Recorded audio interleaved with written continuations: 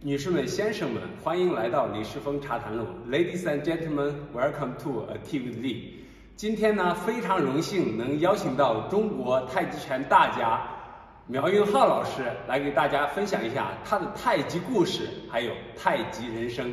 苗老师呢，从小练拳，并后来从事了专业来进行太极拳教学和传播的道路。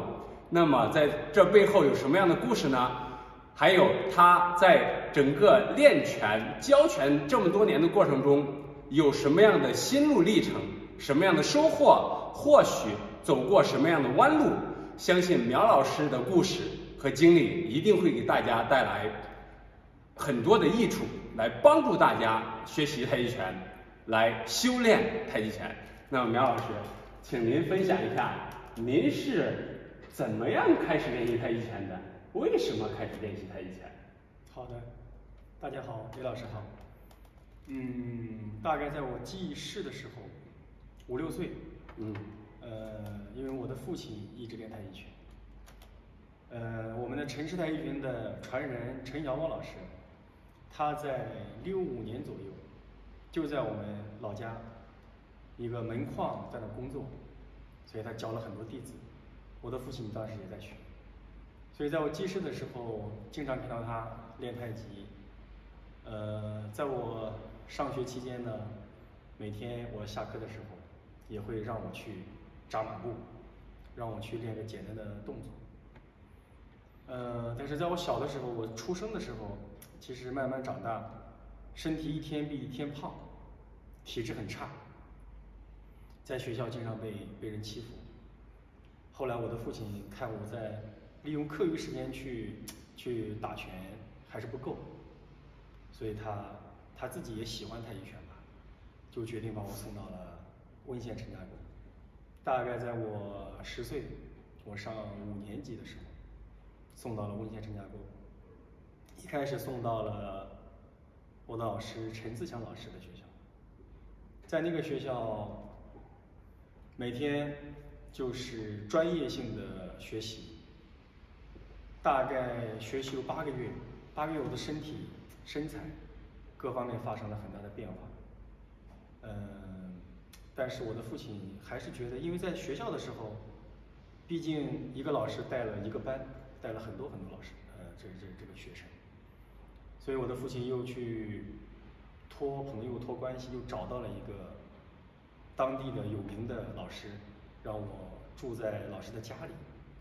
叫做张国正老师，呃，和陈小旺老师是陈小旺老师的弟子，有六十多岁，住在他家里大概住了三年，就一对一辅导。这个老师就教我一个学生，在那个期间，因为毕竟年纪小，其实学的都是套路，学没有学太多内涵的东西，但是在这个老师家家里学习到的就是。咱们传统武术的这种这种精神，每天这三年期间，其实我就学了一套拳，就是老家一路。每天老师，因为当时我也不太理解，每天老师就是一个动作，每天在那看着你练。这一共是七十五个动作，大概持续了三年。在这三年期间，因为咱们呃传统武术学拳。可能，可能还有一些一些一些传统的思想。我在住在家里之后呢，你每天其实和老师的关系其实也得维护的很好。每天不仅是学拳，你的做饭呀、洗衣服呀，平常帮老师家做点家务呀。呃，我十二岁开始在老师家，什么都会干，你比如做个饭呀。浇个地呀，就去去老师家锄锄个地呀。那个时候都养成了一个一个一个勤奋的一个一个生活生生活状态。三年以后，这一套拳我自己觉得打得很好。呃，后来为了打比赛，就要学习一些功夫上的东西，因为毕竟年纪小，还要去多参加一些比赛。又去了我们温县的一个知名的老师，叫做陈友刚老师。到他的家里，又进行了专业的太极推手训练，在那大概待了一年，那是这辈子最难忘的时候，因为超负荷训练，在温县就有一个魔鬼训练营的称号，但是每一届推手比赛，在那几年，有刚老师的武校是冠军无数，所以选择了去他那，去他那的训练方式。在我这个年纪就超越了，超越了自己的能力。每天就这力量力量训练，呃，也有一些力量的一些杠铃的训练。每天要把身体，为了练爆发力，每天就要卧推，用力快速的把这个一百多斤的杠铃推出去。每天要练到你的胸口这儿，推到出血，因为它磕着你的身体，咚咚咚这样这样这样去发力。呃，在那儿持续了大概一年，呃，拿也拿过这个这个黑龙江省锦标赛的推手冠军，包括咱们的全国的一些推手冠军，呃，这是一个经历。后来我又来到了温县，取得了好的名次之后呢，又到温县陈家沟找到了陈明老师。陈明老师到那之后就要想学一些，我的父亲觉得现在。嗯，你的功夫也有了，力量有了，这个拳架也有了，想再好好进修一下太极文化理论方面的东西，想让自己的就这个太极更上一层楼啊，找到了陈明老师，在陈明老师的学校，嗯，学习了大概也有四五年，在这个期间，真的学习到了很多，因为太极。对我的改变呢？因为我小时候，因为他第一是体胖，然后身体很弱，第三呢就是没有自信，去哪儿别人嘲笑。后来通过这几年的训练，包括到陈明老师那儿学习太极文化，最起码把我的性格，把我的身体发生变化。嗯，所以太极首先对我来说，它的帮助，身体的变化，还有我的性格变化，对我的人生。有很大的一个一个一个改变，对我的修心呀、修行呀，都是都是很好的。嗯，在我一一零年，呃一零年的时候，就在济源回到老家，在这里开始教拳，跟着我的一个老师叫朱学峰老师，在济源开始教拳。在济源教拳到一四年，跟着老师，我们又去北京创办了太极拳馆。在北京教拳的期间，让我其实是是感受最多的。在北京教拳之后呢，我去了很多很多公司单位上课，呃，通过太极呢，改变了很多。从教拳开始就感受到太极拳对。呃，我们人们的身体是有很大的好处。以前学习的时候，其实感觉还不是很深，因为毕竟我年轻，我的身体觉得一直都很好。到北京教拳之后，很多因为在北京教的时候，一些上班族，一些一些一些，因为北京这边的工作相对大一些，他们的身体确实有很多很多亚健康的问题。通过教拳，他们的反馈都都很好。呃，包括我在北京，我们也创办了太极网络的授课，在全国有几万的粉丝。呃，通过教拳授课，在网上大家学好学过之后，身体的变化，哎呀，每天的留言，我的颈椎好了，我的腰好了，我的高血压好了。其实太极，我觉得很神奇。在一个夏天，我回到了济源老家。在老家，其实对我的感触很大。一到老家，因为我在网络授课，很多人认识我，知道我是济源的。我一回来，济源的太极拳馆就邀请了很多很多在网络学习的这些这些拳友。在一起之后呢，通过他们的一些问题交流，让我感觉到为什么我学习好太极之后要去外面教拳。老家现在这么需要一个。一个太极拳的老师，大家对太极都这么渴望，并且有一个朋友吧，也是我现在的一个一个学生，她的丈夫得了比较严重的病，当时她学拳就是因为她要通过太极改变她丈夫的身体，所以在网络上一直给我们学，但是最后呢也也是没有没有挽救过来。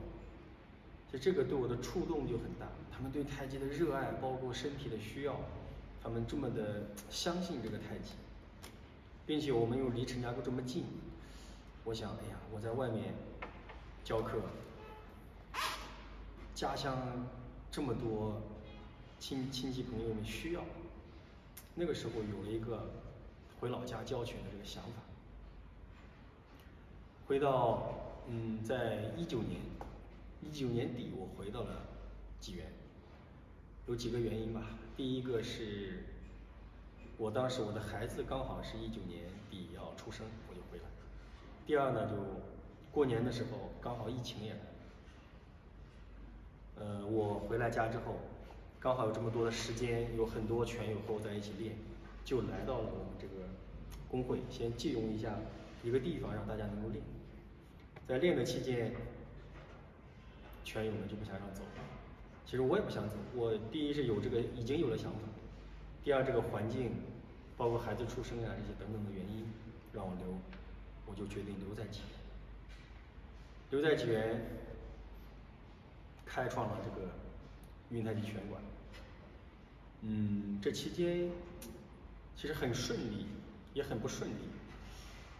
首先我们的这个这个，因为我在北京。教拳的时候，其实没有什么，呃，太多的、太多的能力吧，太多的包包括一些经济水平呀，让我去支撑这个拳馆。所以刚开始创业的时候，我们，呃，我这这边还有照片，就是我们的创始会员，就是一些拳友们，呃，在网络上跟我学习的拳友们，一起，呃，凑了一人几千块钱，十个人。凑了几千块钱把这个拳馆拳馆打开，开开之后，嗯，困难比较多，推广宣传都是都是这些这些这些这这些呃拳友们的帮助，包括现在，现在我们在济源也推了有三十多家企业单位，学校呢也有现在有五千多人学习太极拳。嗯，我们的太极文化，包括我们上一年和河南理工大学合作，联合，就是成为他们的实习基地。嗯，现在太极在济源推广，包括焦焦作的领导也说，现在济源的太极事业其实，嗯，已经推广的很不错了，包括领导的重视和焦作。和焦作比起来，都都都都都都已经有很好的很好的方向。嗯，我们今年又成立了太极协会，也是其实以前没有这个想法。呃，也是在焦作交流的时候，和焦作的老年体工会的主任，包括我们的理工大学的名誉院长，我们的焦作的太极协会的领导们，也是想说，嗯，他们特别特别喜欢济源这个这个太极氛围。所以他们想让我们创建一个太极协会，因为有了协会之后交流起来，他们那边有很多很多太极的活动交流。如果有了协会之后和他们一起、一起、一起、一起交流起来就比较方便。嗯，其实前面还有一个啥，给给给给遗忘了。但是您。通过苗老师的分享，他从小练拳的故事，然后这可是真正的童子功，从小练，我是长大后才练的，从小就是玩。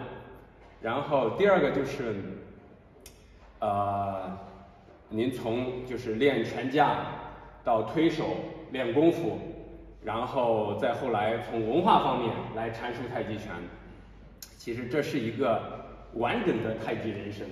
我刚才用的太极人生，其实是一个非常适用、非常适合您的描述太极人生。那么现在您又通过这个集思广益，集众人之力，一起创办了运太极。其实，在今天早上我刷牙的时候，我在想，因为昨天也是借您的福，然后我跟您的这个教练冉老师一块儿去了咱们的卢通学校，然后在那边我看冉老师教这些五六十个孩子整齐划一的打了二十多个动作，一星期一节课，这个孩子们都都学了二十几个动作，打打的还挺好，然后。啊，后来冉老师说，您要不上上去分享一下，我就跟孩子们讲了一下我简单在国外就是呃分享太极拳、教学太极拳的一些小小的故事，然后也给孩子们讲了如何用英文来表达太极拳简单的一些一些词。那么，嗯，讲到这个，那些孩子们的精气神儿，就让我想起了您的名字。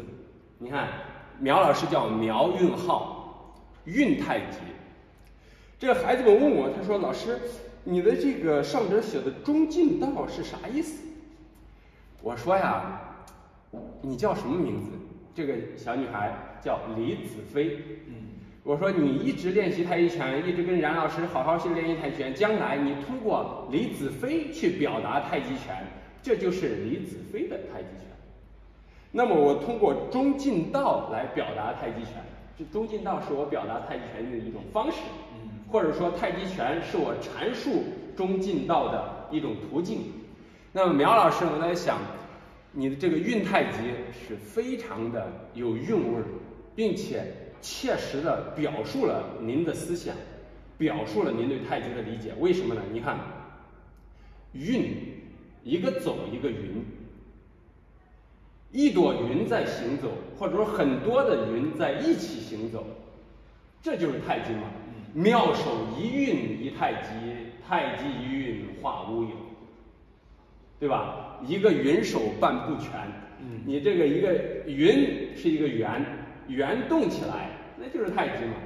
所以说，我觉得您这个运太极这个名字，包括陈鑫老师在。陈氏大姻缘图说里讲蒙子的浩然正气，您后来又去，然后不仅仅是工匠，不仅仅是这个技击，后来又去练，就是寻找太极的文化，然后养一身浩然正气。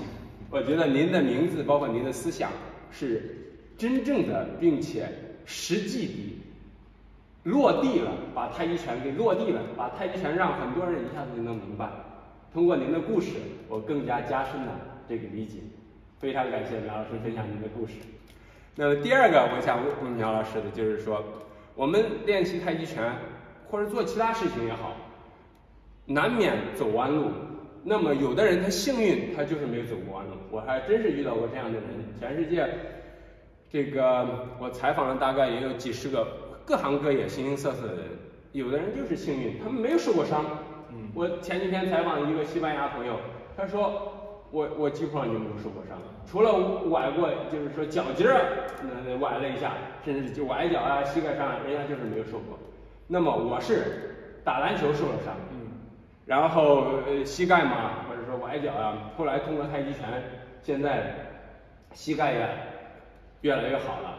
这个其他的地方就是以前运动不当造成的伤害。也逐渐的在康复。那么您，你看那么大的训练量，或者说那么就是从小练这么多年，有没有或者受过伤，或者有没有您走过什么弯路？可不可以跟大家分享一下，让大家更好的从您的故事当中取取经，借鉴借鉴，然后来更好的把太极拳练好。好。对。呃，在训练当中肯定有受伤。我在从我十岁开始学拳。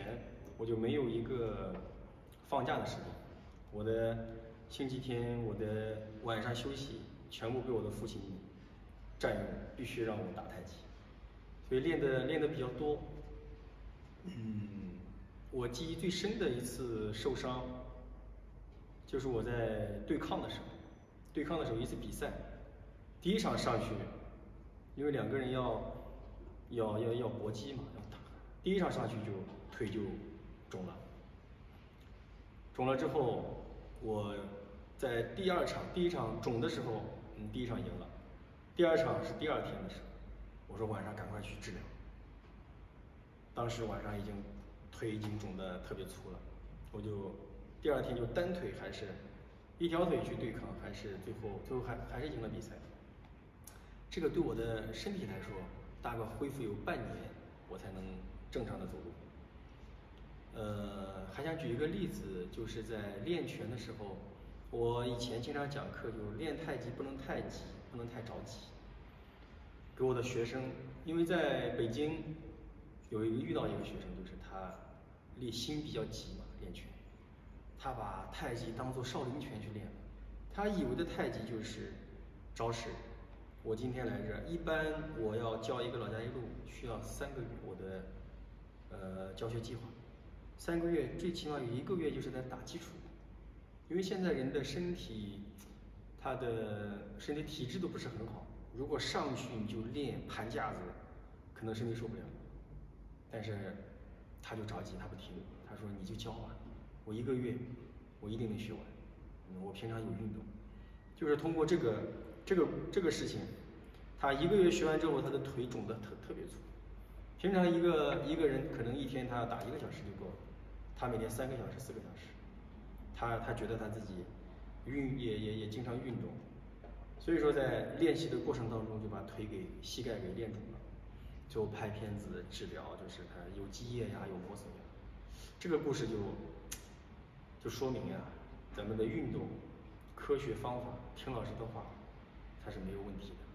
所以练太极拳的时候，呃，也告诫我们的拳友们，练拳一定要静下心来，稳扎稳打，根据自己的身体状况，你觉得你可以今天我打五遍，我就打五遍。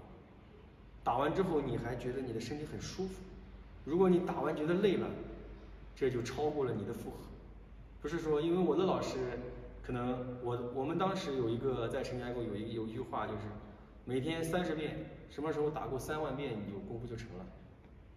陈晓老师以前他讲的，他讲的，他以前就是三十遍全每天，晚上不睡觉，晚上睡觉他就他就不在床上睡。我们呃温县农村有一种长条凳，很细很窄。呃，陈阳老师就睡在这个凳子上，他稍微睡着，嗯，就就就就可能就要倒到地上了，一下就醒了，他就继续练。如果我们，我当时也试着去练，但是确实受不了。你打完之后，你不是膝盖疼就是腰疼，可能有的头疼。所以说，根据自己的状况，你不能和别人比，他打三十遍你也打三十遍，你的身体受不了。所以说，我们打拳。因人而异，根据自己的状况去练是最好的，啊，这就是这个 方法。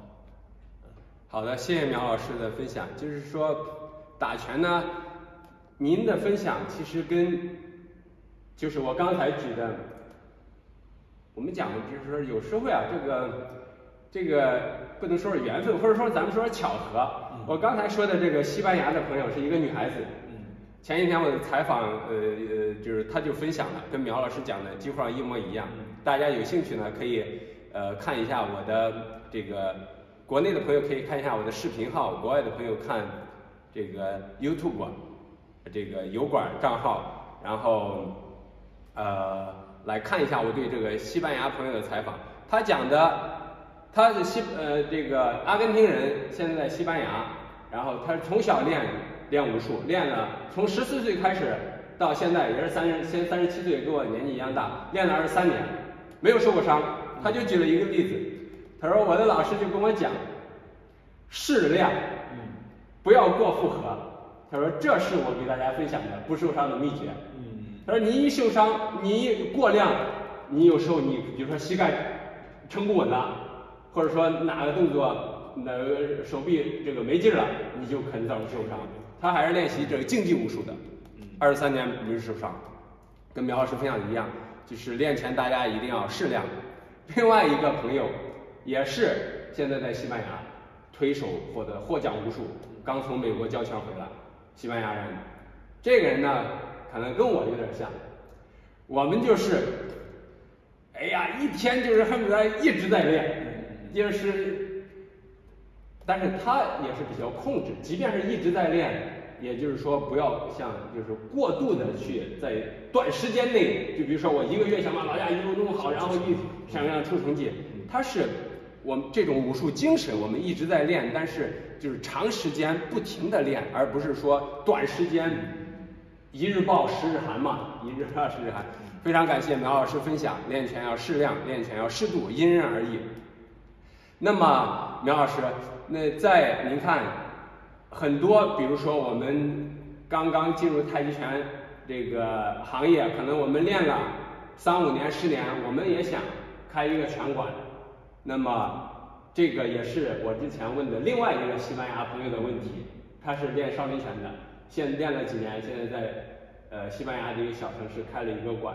嗯，然后，呃，就是大家在那么从，呃，零到一，从做一个教练，可能大很多人都想开一个馆，那么这个您有什么呃更切身的体会？刚才您分享的啊，刚很多集思广益，集众人之力，大家把这个拳馆给开起来。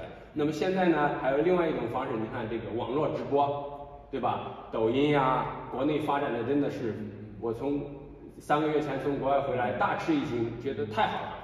另外一个，它可能也有各种各样的问题，对吧？那么就是您有什么切身的体会？那么咱们现在我早上就跟苗老师练，有幸参加苗老师不同的课，早上六点大家都集合到一块儿练到七点半。那有的上班族或者说工作人员，他要吃个早餐再去上班。那么您还在学校里教？还在不同的企业教，那么现在您是发展起来了，那么我最想问的就是，那个比较有挑战的瞬间，就是您开拳馆有没有想到过放弃？还有就是怎么样，就是说哪一个信念支撑您一直到现在？呃，肯定有，因为太极太极拳的发展包括。现在很多大的拳馆能够持续下来的，其实都是非常有名气的，或者说家族流传下来。我在教拳，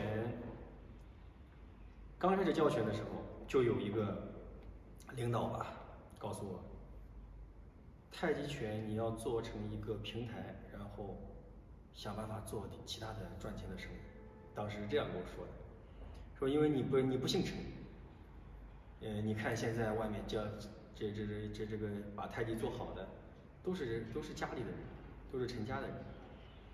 呃，当时当时想让我放弃，因为我我当时就是没有做拳馆的这这这个这个想法，就就是想练好拳，所以当时没有太多想法。就到北京的时候，到北京的时候，其实呃刚开始是比较困难，在北京教拳。它和我们在这这这我们当地教拳不一样。你在当地可能你扎根扎上一年两年，整个地方就会认识，多参加一些活动，呃就会好一些。但是在北京，你可能三年五年十年没人认识你，太大了。就在北京的时候，呃刚开始没有朋友，也也也没有好的平台，当时也没有抖音这些的这些这这些媒体去推销你，所以每天就是在。嗯，这个地铁每天在这个这个天桥去打拳发传单，当时是想过的就是放弃。后来支撑下来的其实就是，呃，首先肯定家里人的支持，呃，我也有想过去上班呀、做生意呀，但是我的家人告诉我，你什么都不要考虑，你想。其实我当时遇到了一个是说让我去赚点钱的事情，很很轻松。但是我的家人告诉我，你是一个练武的人，太极文化，如果你一旦碰钱做生意，你的心肯定肯定会浮躁，会被这个这个这个金钱所所牵绊。所以我从小到大虽然过得不是很好，但是。我家我的家人从来从来不让我考虑钱，呃，所以我对太极是非常纯粹的热爱，就是喜欢。包括我后来回回到济源，回到济源开拳馆的时候，其实我什么都没有想，就是刚才讲的，就是想让想回来家为家里人做点事情，就是这样的信念让我一直坚持下来。我我和我的爱人在在北京的时候，其实我俩住的房间可能就只能放放下一张床，一个床旁边能站下站下脚，我俩就每天有一个锅，每天自己做一点饭。其实当时特别特别艰苦，嗯，能支撑我的就是就是对对太极的热爱，包括我在在回来几元，我们做拳馆，做拳馆，嗯，后来我们想怎么把这个拳馆给做起来了。其实，首先我们现在拳馆，包括现在全国的拳馆，好像都是这样，线上线下的一个结合。呃，线下的拳馆，线下的拳友现在以前在练拳的时候有一个问题，就是在拳馆学完之后到家，他容易忘，想复习很难。呃，外地想来想学咱们温县陈家沟的太极，他还得跑千里，很难。所以我们现在也是线上线下的这样的推广，线上让外地的朋友也可以看到，线下呢。呃，让他们回去可以看视频，相互的这样的学习，让圈友们学习起来更轻松。呃，更轻松了，他现在呃热爱太极的会越来越多。